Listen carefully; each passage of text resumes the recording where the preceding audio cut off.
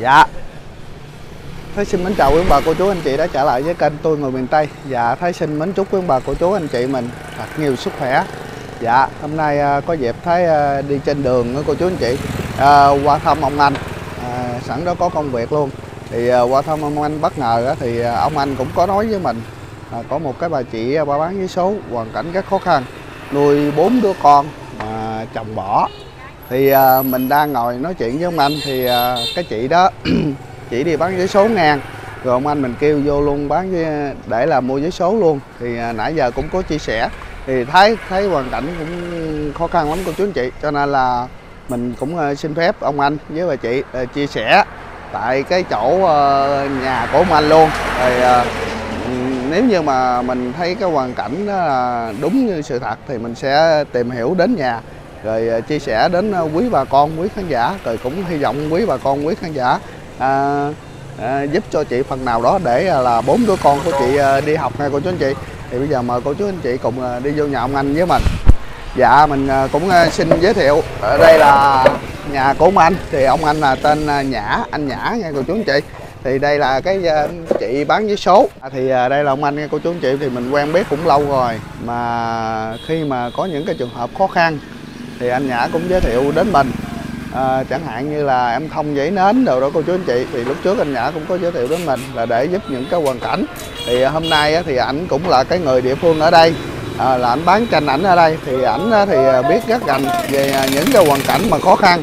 Thì à, ảnh cũng có giới thiệu với mình đến à, chị này với đứa con. Thì à, em nghe nói là chị đi bán vé số rất là sớm nhưng mà ẩm theo thằng bé này hả anh Nhã?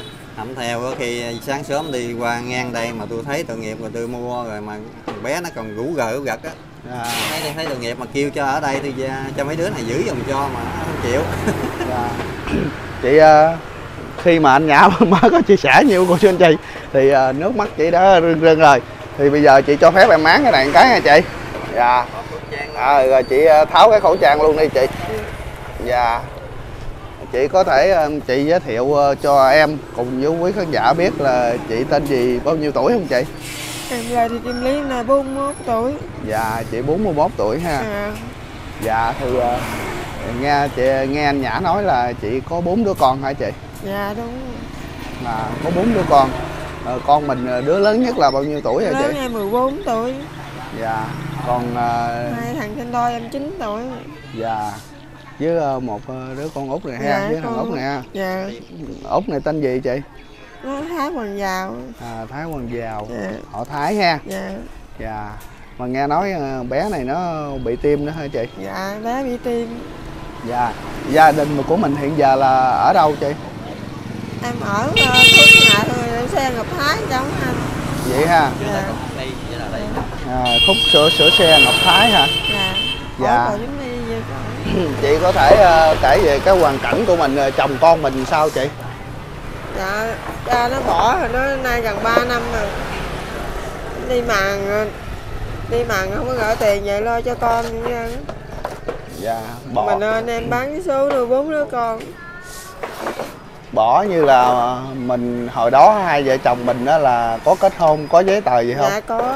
rồi bỏ rồi hai vợ chồng mình có ra tòa gì không hay là anh bỏ anh đi thôi à Dạ chưa ra tòa cũng như chưa ra tòa cũng như ở với xã ta cũng gạt cái hộ khẩu anh ra rồi đặng người ta cũng như hỗ trợ cho bé đặng được bé đi mổ tim với được. Rồi với cấp cho cái hộ nghèo đặng lo cho mấy đứa nhỏ đi học. Dạ là bây giờ hiện giờ là mình có hộ nghèo luôn rồi đó hả chị? Dạ. Dạ hiện giờ là mình ờ, nhà mình ở đâu nhà nhà ờ, nhà, nhà mình cái đó là cái cái chỗ mình ở là cái nhà của mình hay là mình ở đậu hay là sao chị? Em ở đậu. À, ở đậu ở đậu nhà đó là của ai? Của của mẹ của bên ngoài. À, tất nhiên là mẹ của chị ngoại Dạ. của mấy đứa bé ha. Dạ. Dạ. Thì sao mà chị vừa nghe nói tới nhắc tới chồng mình là chị khóc là sao chị? Em thấy thương cho mấy đứa con của em dạ. Em tại em nghèo em, khổ, em cực khổ cỡ nào chứ em có không, không thể nào em cho con em. Dạ. Tại vì em mang nặng ở đau đâu có bỏ không được.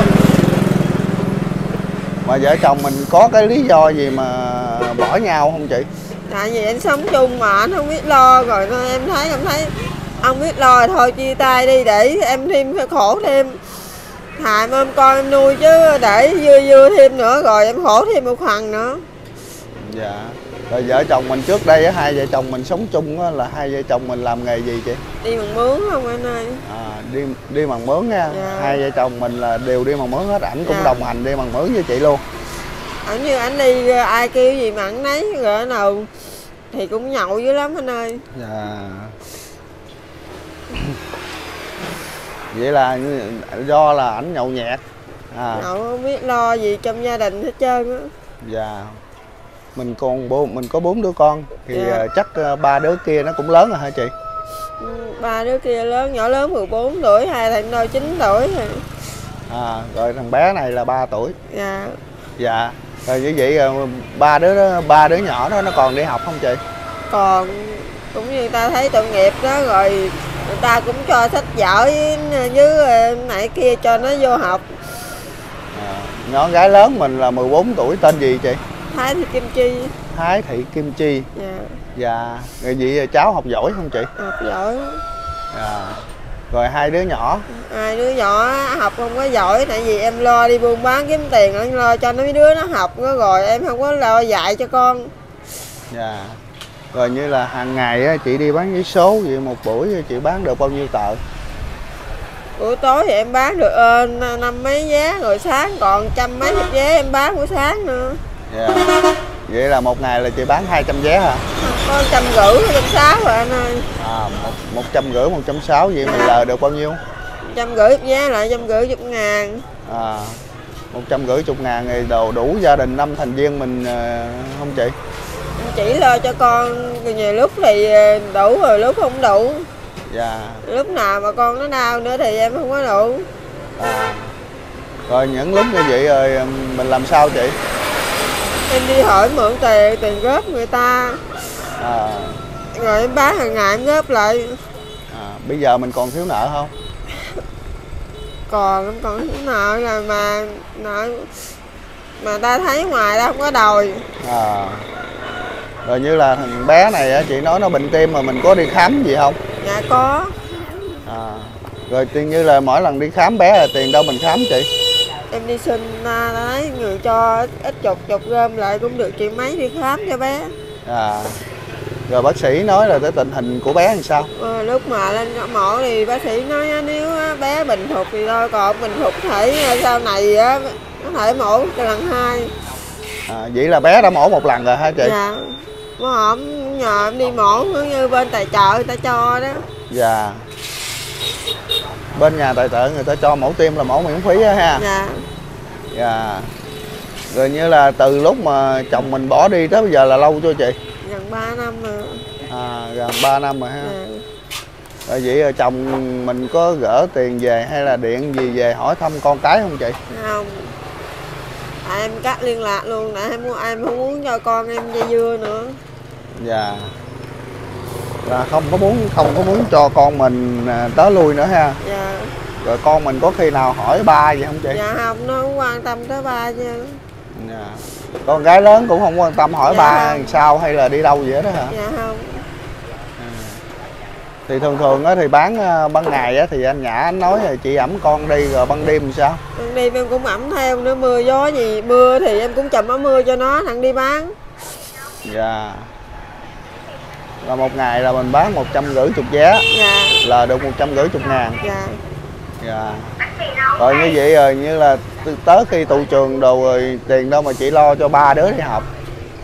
Tôi có hổm em đi ta cho em sách vở cho mấy đứa đi học. Dạ. Rồi chị lo như vậy rồi chị có suy nào mà chị suy nghĩ là chị lo hết nổi rồi chị cho con chị nghỉ học không? Không. Em nói rồi đi gắng mà lo cho con học sau này cho nó biết chữ hơn nhờ bản thân của nó tại vì em quá khổ rồi. Vậy là mình giá nào mình cũng lo cho con mình đi học hết. Dạ. À. Bây giờ mà hãy mình còn có thể lo là mình lo ha Dạ. chứ không có để cho các con mình nghỉ ha. Dạ. Nhưng mà mình cũng được cái là có đứa con gái nó học cũng ờ, rất là giỏi mà. Dạ. Dạ thì ờ, anh nhã ở đây cô chú anh chị thì ờ, cái người địa phương khi mà giới thiệu đến mình thì ảnh cũng đã hiểu cái hoàn cảnh của chị này sao à, rồi có đúng sự thật hay không. Thì à, để mà mình chắc ăn hơn nữa thì em sẽ đến à, nhà chị một lần ha. À, em sẽ xin số điện thoại của chị em sẽ đến em thăm chị với à, các cháu. Dạ. À, coi coi hoàn cảnh của mình sao. Rồi như à, mỗi một lần mà tụ trường vô á, thì đồ đạc của các cháu rồi sao mà là mình có để là đủ để cho các cháu đi học chị ta cho không quần áo cụ quần áo nào mặc nó cũng như hơi cũ rồi đó ta cũng cho nữa Dạ. vậy là con mình là toàn bộ là bận những cái đồ mà các à, cháu các em là nó lên lớp lớn rồi nó bỏ lại là mình xin lại để là Dạ. cho con mình đi học ha dạ rồi các cháu nó nó nó có nói gì không chị. Có khi nào mà nó đòi hay là nó nói là sao mà các bạn có mà mình không có gì không nó nó nói À. thôi con gán đi để nào mẹ giờ mẹ cũng đi bán thôi con học con ấy đồ cũ con học đi. Gán học đi rồi giỏi hơn nữa nó mẹ có tiền mà mua cho con đồ mới mà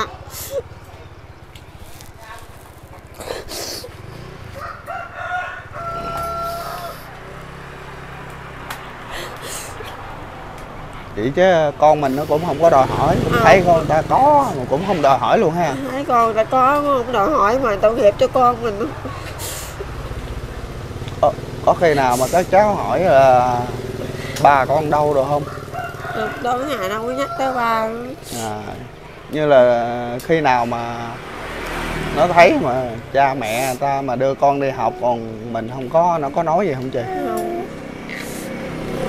các cháu đi học ở đó là gần trường không? Cũng cũng xa chứ không có gần á. À, ở dưới trước trường trong ngoài á. à, rồi các cháu đi học bằng phương tiện gì chị? Sáng em đưa đi rồi em đi bán tranh thủ đi bán nặng tới canh tới đúng giờ về rước. À, sáng đưa đi đưa đi rồi chị mắc chở con bé này theo đưa đi luôn đưa đi từ đứa hay sao? Dạ đưa xe đạp nữa dạ đưa đi từ đứa ha. Dạ rồi em về mới đi bán đi bán rồi về tranh thủ canh tới giờ đang về đi rước á. Dạ. Rồi như là sáng đưa đi là thằng bé này còn ngủ hay sao? Còn ngủ. À. Vậy là đưa nó đi sớm dữ rồi? Đưa sớm á. À, rồi đưa sớm rồi các cháu nó vô vô, vô trong trường rồi đỡ hay sao? Vô trường ngồi trống nó đợi à, rồi đi học rồi mình có cho tiền cho bà chị các cháu nó ăn không chị? Sáng em cho đứa 10 ngàn. Rồi ba đứa mình sáng 10 ngàn là hết ba chục ngàn. Ba chục ngàn mà một ngày á, là mình bán là là được trăm rưỡi. Dạ. À, vậy là còn một trăm hai. Dạ. Học mà trăm hai mà đâu có đủ đâu nhiêu gì, học hai buổi không à. Học hai buổi ha. Dạ. Dạ thấy con người ta có ăn con mình không có ăn cũng thấy tội ha chị. Dạ, được cái mấy đứa nó cũng biết thân biết phận nó Dạ. nó cũng không có đòi hỏi gì ha. Dạ. Dạ. Có khi nào mà mình ờ, cho tiền nó mà nó không ăn nó đem dễ trả lại chị không? Con nhỏ lớn nó không ăn nó để dành. Nó nói nha, con không ăn con để dành nó đi lúc nào mà em có tiền con lấy ra con ăn. Dạ. Thì nghe cái hoàn cảnh của chị cô chú anh chị. Chồng bỏ mà nuôi bốn đứa con mà chị nói là dù cực khổ cỡ nào chị cũng ờ, không có bỏ con của chị dạ, nhưng mà cũng cố gắng và cho con nó đi học để biết chữ như con ta. Sau này con mình nó không có khổ. Nhưng mà các cháu thì à, theo mình nghe chị nói thì các cháu cũng rất là ngoan. Đặc biệt là cháu gái lớn á nó là chăm học mà học ờ, rất là giỏi nữa. Học giỏi luôn á hả chị? Giỏi. Và à, để thương mẹ thì ờ, cũng đôi khi cũng ờ, dành dụm để những lúc nào mà mẹ mà không có tiền. Đó, thì ờ, lấy ra để ờ, ăn chứ còn mà lúc nào mà cháu nó nó như là nó đi học mà nó không nó không cảm thấy đói là nó nó nó, để dành lại hết á chị. Nó đói nhưng mà nó không dám ăn nó cũng là tiền. Dạ. Nó cũng ờ, biết rồi chắc cũng là không có dám phân bì gì để làm buồn cho chị đâu ha nhiều lúc thấy nó thì nó cũng tội nghiệp nhưng gái thì thấy ra đường thì bạn bè thì hơn nó nhưng nó cũng về nó không dám đòi hỏi gì với mẹ hết. Dạ. Rồi có khi nào mà nó nhắc đến ba rồi nó nói phải có ba mẹ đỡ hơn gì không? Không tối ngày không có nhắc tới ba nó hết trơn. Tại vì cũng biết ba ha biết. À, lớn rồi nó biết. Nhỏ này nó biết ba nó không chị? Dạ không. À, bỏ ba năm nay rồi bé mới có 3 tuổi rồi. dạ. À, khi mới sinh bé này ra là anh bỏ anh đi hay sao? Sinh ra được ba tháng mấy. À rồi anh bỏ anh đi luôn hả? Dạ. Anh bỏ anh bỏ anh đi luôn tới giờ là anh không có về anh thăm con anh gì luôn. Cũng ờ, con lâu lâu thì có ông ngoại nó mắc đó thì ở ờ, ông ngoại nó mắc lúc ngoại nó mắc thì nãy đi mổ tim ở nhà có điện về. Điện về cũng không có ngàn nào cho con hết trơn vậy đó ha. Dạ. Dạ. Ảnh ảnh lên lớn tuổi rồi chị? Có bốn mấy tuổi rồi. Vậy đó ha. Dạ. Là, là nói chung ra là ảnh là, là nát rượu đi làm nhiêu là ảnh ăn nhậu hết nhiêu đó ha. Dạ cho nên là bây giờ là chị chấp nhận là chị ôm con nuôi. Dạ. Dạ. Rồi bé này á là nếu như mà mổ một lần này không được nữa là ừ, bệnh tình còn là lần sau là cũng phải tiếp tục mổ nữa hả? Dạ à, con ơi. Con cố gắng khỏe lên nha. Ha cố gắng khỏe lên đừng có mổ nữa nha. Mổ nữa là mẹ mệt lắm á. Nghe nghe hiểu chưa? Dạ đi. Con. Dạ đi con. Dạ đi. Sao gục mặt xuống dữ vậy? À dạ đi dạ đi con con dạ đi. À đi cho tiền. Dạ đi à đi dạ đi rồi mình à, mình mình ở đậu bà ngoại là gần ở ngoại không chị? Ở gần cặp bên nhà ngoại. À cặp bên nhà ngoại là cái nhà đó là ngoại cắt cho hay là sao? Hồi đó tiền của bên bên chữ thập đỏ ta cắt ta cho. Dạ. Cái nhà cắt lâu chưa chị? Cũng lâu rồi anh. À nhà bây giờ mẹ con mình còn ở được không? Ở mà lúc thì mưa nhỏ thì ở được mà mưa lớn thì dột. À mưa dột vậy rồi các cháu ngủ nghe thì sao chị? Thì cho cho dột trong buồng đó thì em nhường cho mấy con ngủ. Chỗ không dột trong buồng ha? Dạ. À, thì nhường cho mấy con ngủ. Còn chị với con bé này ngủ ngoài chỗ dột hay sao? Chỗ thì dột thì em ngồi thôi mà chỗ nào dột thì em ngồi để cho các con nó ngủ nó nằm nó ngủ nó nhường chỗ khô cho ngủ. Đêm nào mà mưa lớn là em ngồi không à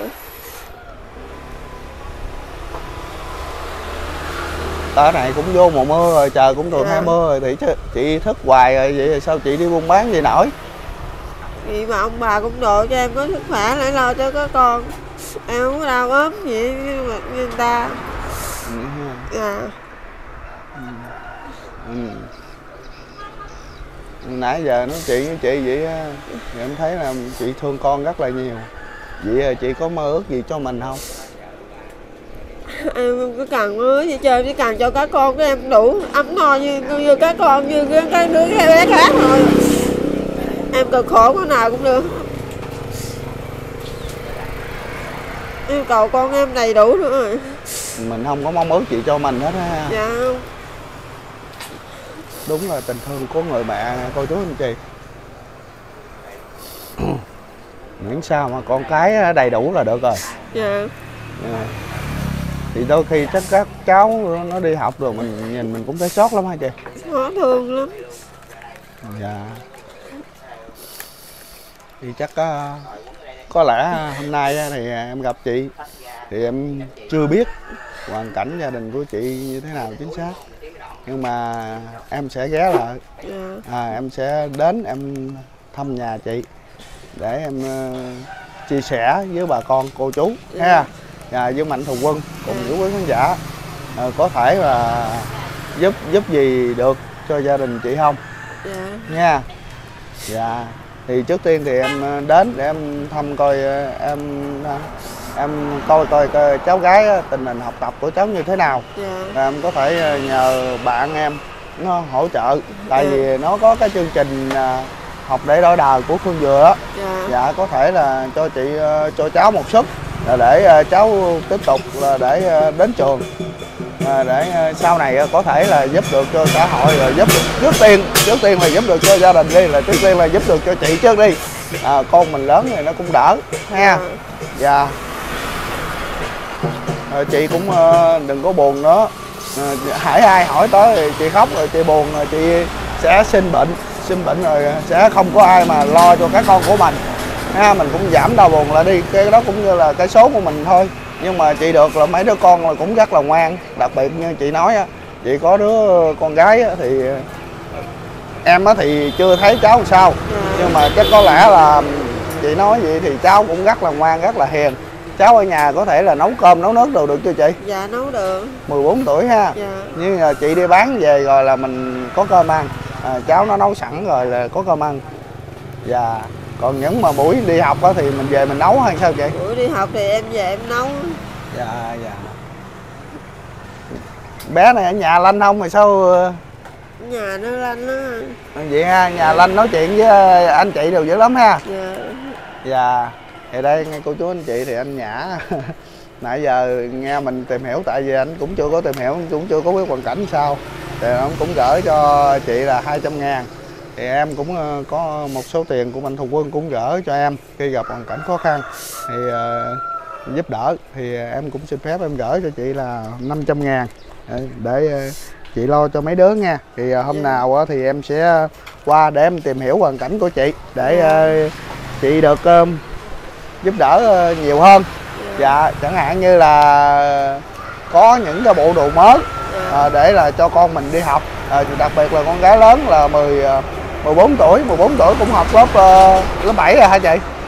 Từ trường tới lớp 9 rồi đó. À tụ trường là lớp 9 rồi. Có những bộ đồ mới cho e, con mình đi học rồi cũng ờ, đồng trang đồng lứa với bạn bè. Nó không có bị tuổi ha. Còn hai đứa nhỏ? Hai đứa nhỏ từ trường lớp 3 à, hai đứa nhỏ tụ trường lớp 3 Rồi mình cũng hy vọng là cô chú mạnh thường quân là à, có thể là hỗ trợ một phần nào đó cho chị để à, giảm bớt là cái sự cực khổ hàng ngày là phải đi bán giấy số nuôi con nha dạ thì à, em cũng xin gửi cho chị là 500 ngàn Dạ, à, cái cảm tiền ơn. này là của mạnh thường quân gửi cho em em gửi cho chị chị cảm Dạ. ơn mạnh thường quân đi chị dạ em cảm ơn các mạnh thường quân giúp đỡ cho em Dạ. Thì à, hôm nay mình đi trên đường cô chú anh chị thì tình cờ mình bắt gặp một cái hoàn cảnh này chứ có thật sự bữa nay mình đi cái công việc ờ, đi ngang anh Nhã, chứ mình cũng ờ, không phải là đi qua để là tìm chị hay là gì. Dạ tình cờ trên đường gặp thôi. Dạ thì ờ, video của mình đến đây cũng xin phép được kết thúc. Dạ xin chào và hẹn gặp lại cô chú anh chị vào video tiếp theo nha. Dạ xin chào.